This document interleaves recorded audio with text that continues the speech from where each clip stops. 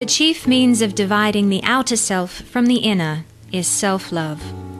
The chief means of uniting the outer self to the inner is mutual love, which is absolutely impossible to acquire until self love withdraws. The two are, after all, diametrically opposed. Our inner self is simply mutual love.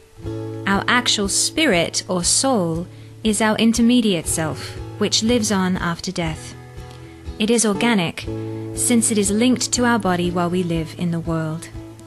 This intermediate self, this soul or spirit of ours, is not our inner self, but the inner self is present within it when mutual love is present.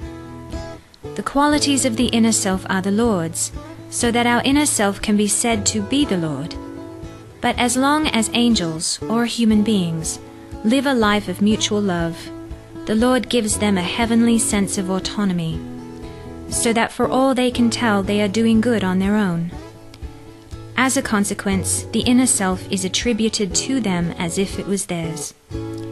However, those who love one another admit and believe that no goodness or truth is theirs, but that all of it is the Lord's.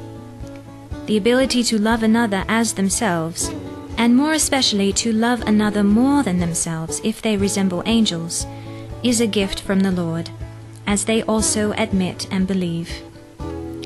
This gift and its blessings retreat from their grasp the more they retreat from acknowledging that it is the Lord's.